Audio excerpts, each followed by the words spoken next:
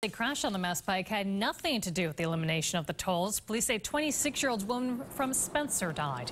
She was riding in an SUV when the driver veered off the road and into a rock ledge in Westboro.